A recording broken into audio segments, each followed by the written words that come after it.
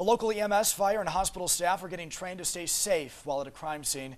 Experts say violence is a reality of being an emergency worker and responders need to know how to protect themselves while on the job. The two-day course started today in Waterville.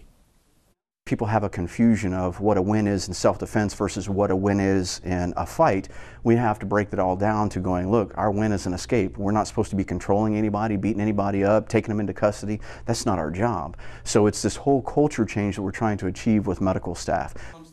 And get this, one teacher of that course said that he was attacked on the job as recently as three weeks ago.